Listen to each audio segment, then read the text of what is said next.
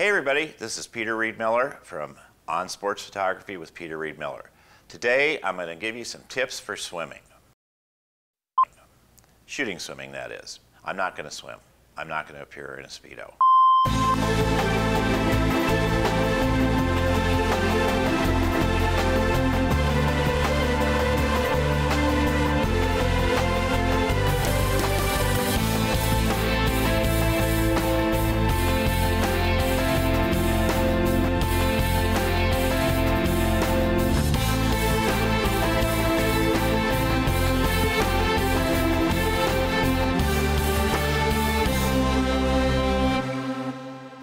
To talk about swimming, shooting swimming.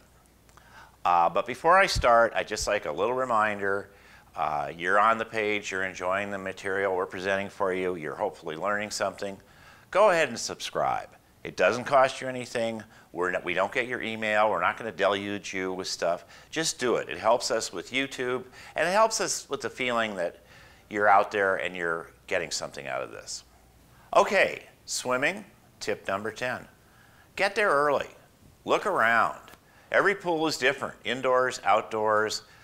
I know I'm going to tell you the basically the normal way to shoot each of these strokes, but the fact of the matter is there's always a little angle, a little place that a certain swimming pool might have that you could shoot from that would make a different picture. And believe me, in swimming, a different picture is hard to come by. Tip nine, when you get there, find those heat sheets. Those are going to be big lists. Most swim meets proceed with a set of heats going down to a set of secondary heats going down to finals, A, B, and C finals. You want to pick out your swimmers that you have already researched and find out what heat they're in and what lane they're in. You don't want to just shoot these people swimming randomly. You want to be targeted on certain swimmers.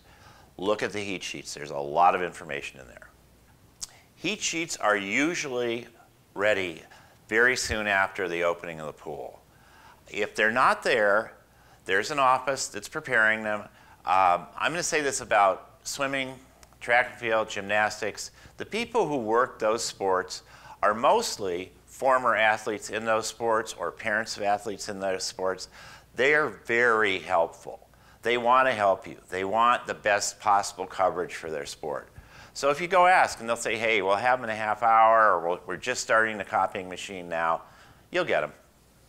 So you get to the meet, you've checked out the pool, you've got your heat sheets. Tip number eight, you are thinking that this is pretty easy. You're close, you're right at the pool deck, you're right at the edge, you can shoot with a short lens, but you have to remember, you're not shooting full bodies. You're shooting faces, hands, arms, that's it. So really, you need a long lens. Even in a 50 meter pool, uh, a 600, even an 800, at least a 400. You've got to get tight in on, on what you see, which is a head popping out of the water or a head turning. So think about long lenses and think about your angles and your composition. Tip number seven.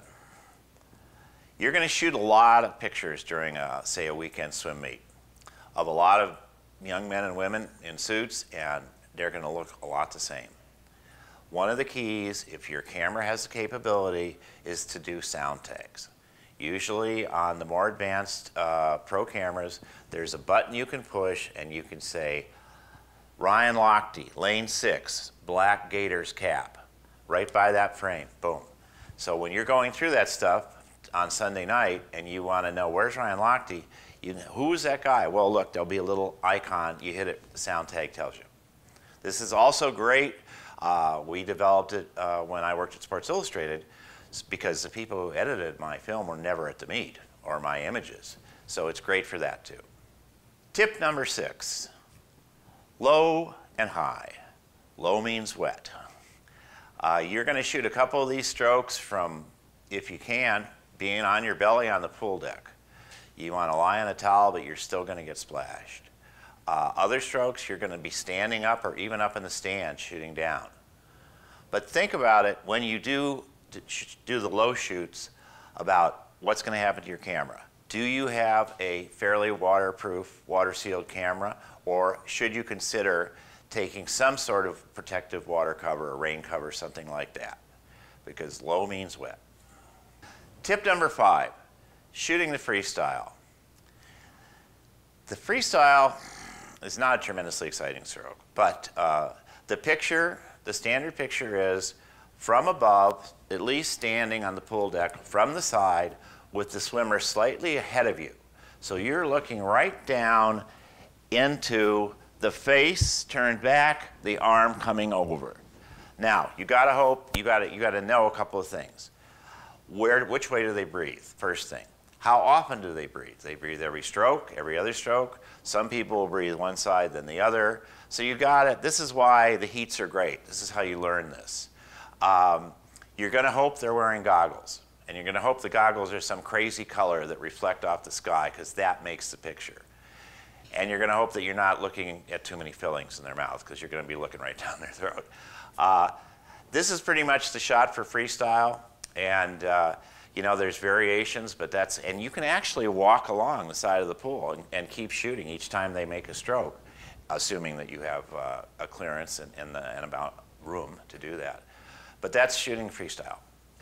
Tip number four, shooting the breaststroke. The breaststroke can be very cool. You get that face coming up, you get that, you can get that bubble, you get the arms, the hands coming out. That's all you have with the breaststroke. Everything else happens underwater. You have to be very careful though about the splash. The water that splashes in front of the swimmer, which is always happens in breaststroke, will potentially draw your camera's autofocus off the face boom, onto the water. You got to be careful about this. Uh, one of the things that you can do um, in, if you have an adjustable autofocus is, um, in Canon's case, it's case two. Case two means that the camera stays on the subject, does not jump around.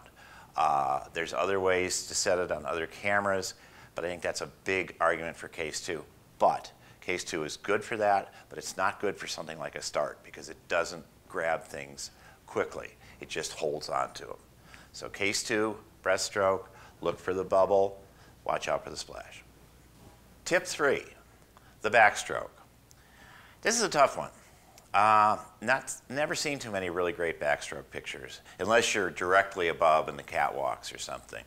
Uh, if you stand at the end and when, when they do the turn if you can shoot them when they're still underwater, you'll see bubbles streaming out, and that's kind of a cool picture. But once they start to actually stroke, you're kind of looking at an arm in the air and maybe a face, and that's, that's really what you're going to get there. Unless, as I said, you can get super high, like uh, maybe at the 10 meter diving platform at the end of the pool, something like that. That's basically your backstroke. So yeah, the backstroke, a little dry, but if you want to get out of your comfort zone, Try going to the side, slowing down your shutter speed, get that arm arcing through, get the water coming off the arm. You really got to get creative. You got to work hard to make a backstroke picture that isn't boring. But when you do, you really have something nice. So it's worth the effort. Tip number two, shooting the butterfly. This is probably the most photogenic and most often photographed stroke in competitive swimming. There's a lot of little nuances though. Breathing, again, some swimmers breathe straight ahead. Some turn to the side, so you never really see their face. Some swimmers bring their arms completely out of the water. Some of them, like Michael Phelps, never do. And it's a weird composition. If you're shooting something very wide, not very tall.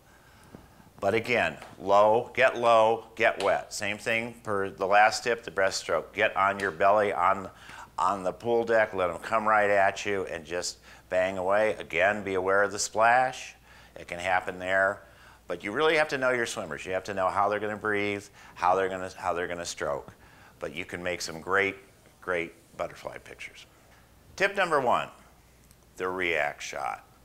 So you've shot your swimmers and they really, no matter what you do, they're all starting to look a little bit the same. There's not much personality. Even if you see a face, it's a face that's really stressed and effort, full of effort. Tip number one, the react shot. Now you're shooting your meet, you've got tons of pictures of swimmers.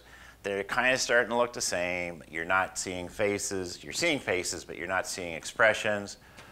Here's where you get the real stuff. Here's where you get the personality. At the end of the race, every swimmer grabs the pool edge and turns right to the scoreboard. And the winner usually really goes crazy. Now, this doesn't work in the heats because they kind of don't care, but they want to see their time. They want to see if they won, number one. They want to see their time. So someone who didn't even win the race but just set a personal best could also react. So you need to be between the swimmers and the scoreboard. So they look right at you. You need to be essentially under the scoreboard. They're going to look right at you. Now you've got to really work at picking who your winner is going to be because that react is very instant. But if you pick it right and you get somebody, they'll go crazy sometimes. And that's what is the fun picture in swimming. That's what's the real picture that doesn't look like all the other pictures you've taken. So that's uh, my tips on swimming. Enjoy. Stay dry. One last thought to leave you with about swimming. We've talked about all the strokes. We've talked about everything that you, you have to do. But you need to go beyond that. You need to get creative. There's something out there. You can put a remote under the starting block. Um, I would lay down on the 50 meter freestyle where there's no pictures in the water. I would lay down um, at the edge of the pool and hold my camera out to get the, the start dive. Um, there's a whole technology of underwater cameras, which I personally don't do, but that, that's, those are options. Uh, you know, you got to push the envelope here because otherwise you're going to have what everybody else is going to have, and it's not going to be that exciting. So always look for another angle, look for another way, look for a place to put a remote. Think about that, stay creative. So that wraps up our top 10 list for swimming. Uh, yet again, I want to remind you, if you enjoyed this, subscribe. It'll help us out and it will not cost you a thing and you will not get deluged with emails. So subscribe, enjoy, learn, and stay dry.